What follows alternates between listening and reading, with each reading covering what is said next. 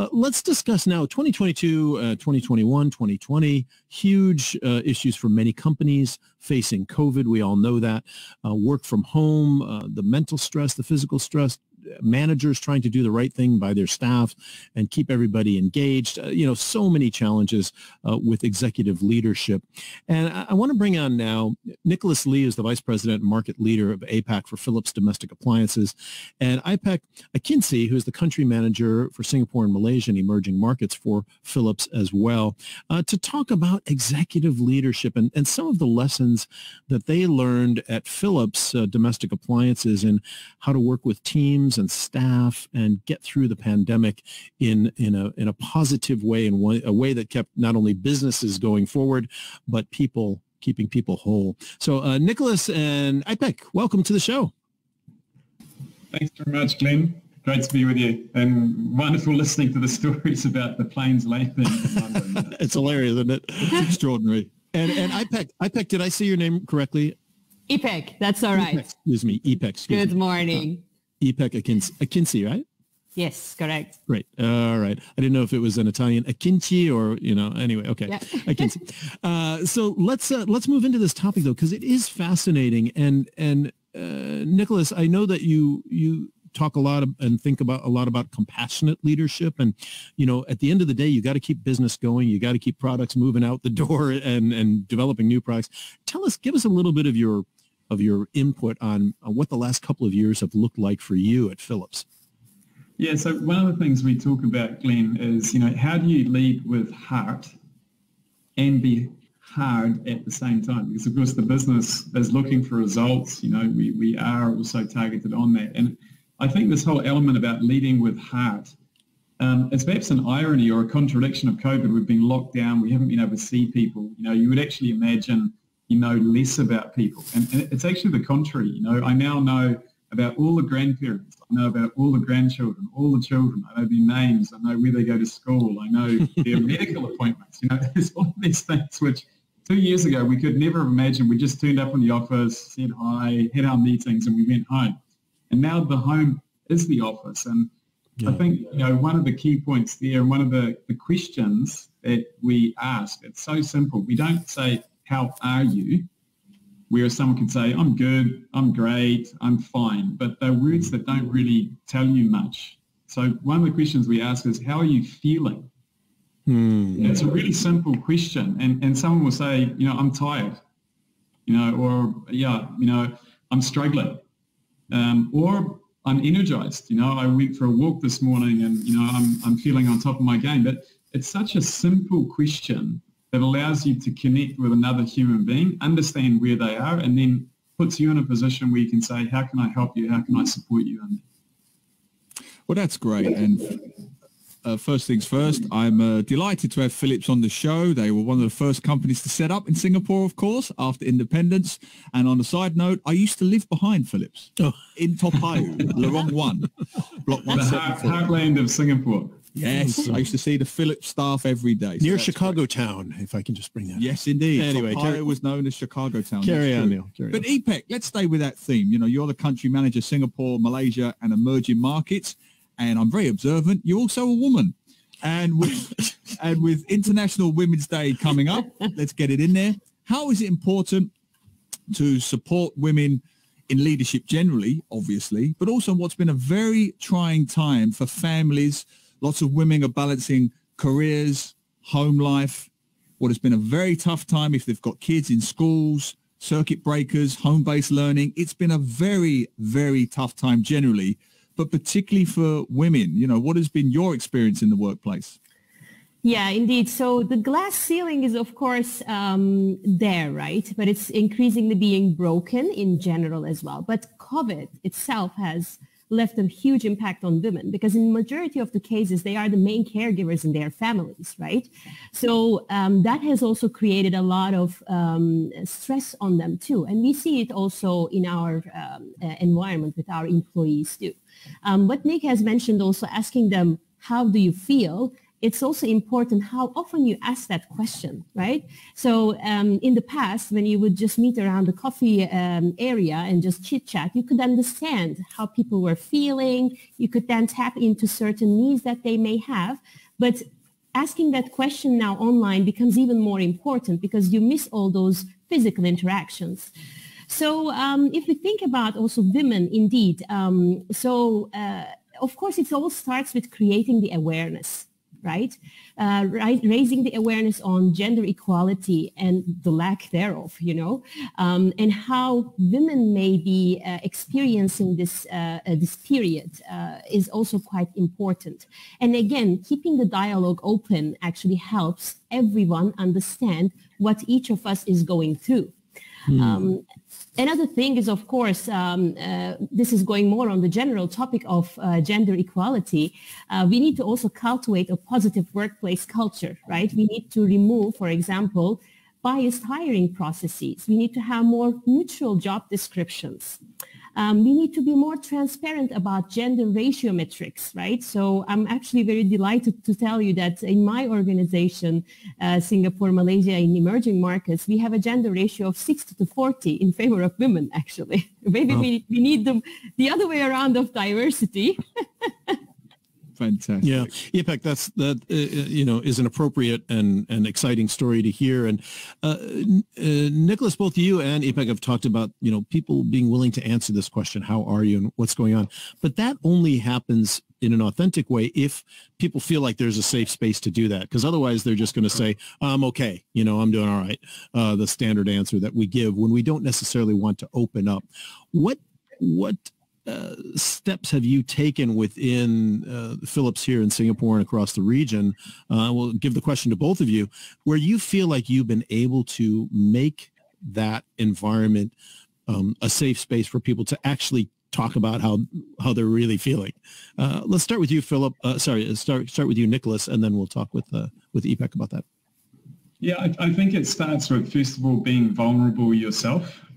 Um, you know, often the leader is supposed to be perfect, you know, uh, bulletproof, uh, and and when you yourself show your own weaknesses and how you're struggling, and and um, and people hear that from you, uh, then they feel that it's safe for them also to talk about it. You know, if, if that well, if that's happening to the boss, you know, then uh, you know it's okay for me to say that, and I think that's really the starting point for all of it. I think Ipek's right. Leading leading by example, in other words. Yeah. Yeah, and it, and it's a muscle that needs to be trained. Um, it doesn't come overnight, but I, I, think that it's about celebrating the progress. And every time it gets a little bit easier and a little bit easier and a little bit easier. And honestly, now I, I see the dialogues also within the team. You know, this is happening with my father, this is happening with my mother, my children. I think we all know everything about all of our families now, and that creates this amazing awareness that even before you think you had the coffee machine and the chit chat, but it, it, spreads even digitally across the whole region. So whether you're in Korea or in Australia or Indonesia, you now know about everyone's family across the region. But it, it definitely starts with you as the leader being vulnerable in the first place. Yeah. Ipek, can I just jump in there and, and yeah. follow up on what Nicholas said? Because that, that is actually so fascinating to me and, and quite profound what Nicholas just said, because we do live, particularly in Asia, we do live in a face-saving culture uh, this, this slightly stereotypical, almost patriarchal view that the boss must be, you know, rule with a rod of iron and be absolute and unbreakable. And, and so there's a reluctance to open up and to reveal yourself a little bit more, as Nicholas mentions. From your point of view, Ipek, what is it like to work with a boss who's willing to do that? What difference does it make? Um, of course, it creates um, uh, an environment of trust, right? So it mm. creates, um, um, it, it, makes you more human. We are all human, right? It's it's no longer those, um, yeah, ivory tower. Uh, indeed, the boss is sitting there and shouting out orders type of thing. And we are all mm. human. And there is also, um, I think, a lot of benefit for the boss, him or herself, having that interaction with their employees as well. It's a learning opportunity for us too. How to be better yeah. people, how to be better bosses, right? Um, so it's it's quite an important um, environment to create.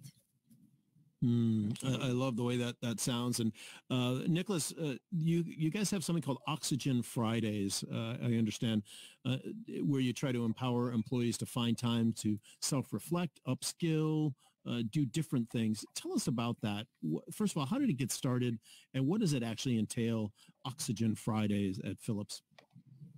So it started with um, a, a, survey actually to all of our employees. So we have more than 300 across uh, Asia Pacific, and we were we were looking actually about work from home, work from office. What do people want to have? And you know, one of the key topics that was coming back was flexibility.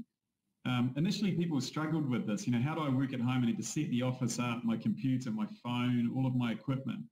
But actually, once people were through that curve, they actually really appreciated the work-life balance and said, this allows me actually to connect with my colleagues, but also to look after my family and also take care of myself. And one of the questions um, was about, you know, any suggestions or recommendations you would have for us. And people were saying, I really need to have at least one day in the week where I can kind of catch up on emails, I can catch up on strategic projects. I've got some thinking time for myself because mm. with, with the digital way of working, it's so convenient. Everyone just blocks time in your agenda and there's meeting after meeting after meeting.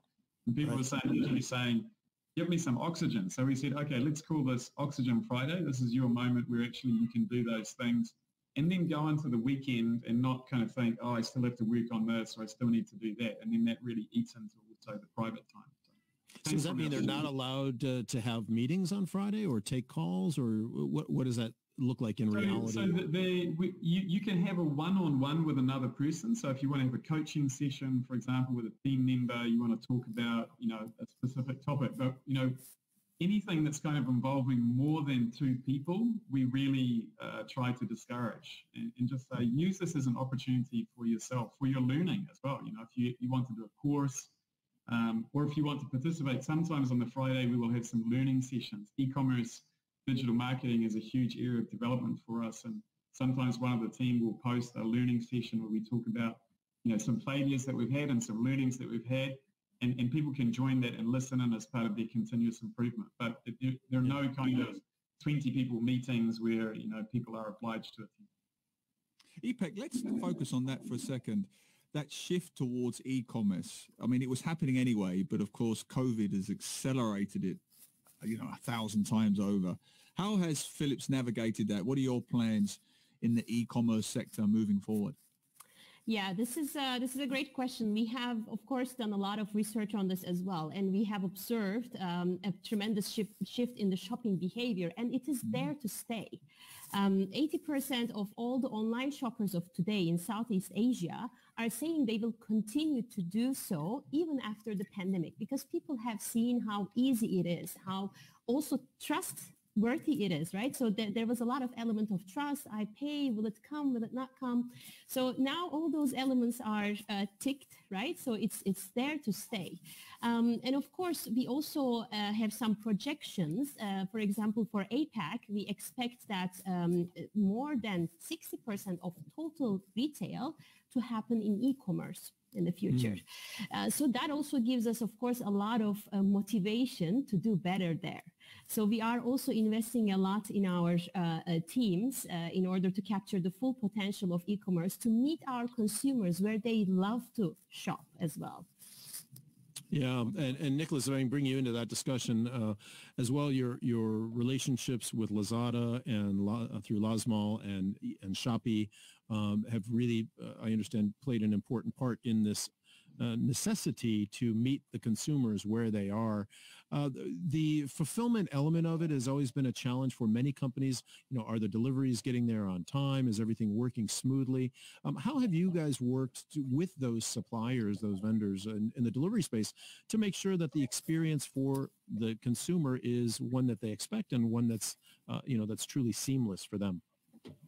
Yeah, definitely. And if you look at the top priorities that consumers rank about what's important to them in online shopping, you know, yeah. delivery service, getting the product, you know, quickly, safely, in a good condition, and as they ordered it, that's really uh, in, in the top three.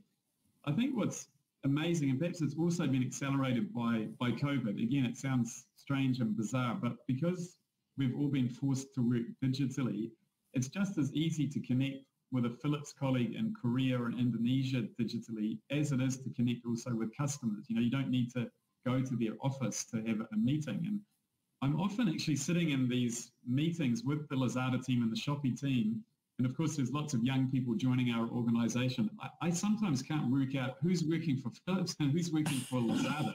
It's, uh, it's a bit bizarre. And then I ask my team later, was that who's on our team or their team? You know, which kind of then shows there's this, it's almost like a, an varsity or NBA or high school type environment where everyone's just kind of seamlessly working together. And I think ultimately that then feeds into a consumer experience where they just perceive all of that as seamless. They know they can find our products there. They know they'll be delivered.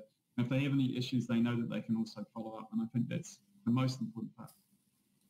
Absolutely. I think having that environment where people can feel feel free to reach back and to ask ask questions and give those that feedback and comments is is something that every office uh, should strive for. Most certainly, uh, we do have to leave it there for now. But thank you so much uh, both for coming on, Nicholas Lee, Vice President Market Leader APAC for Philips Domestic Appliances, and Ipek Akinci, the Country Manager for Singapore, Malaysia, and Emerging Markets, also at Philips Domestic Appliances. Great to have you on Money FM. Uh, thanks for being with us today.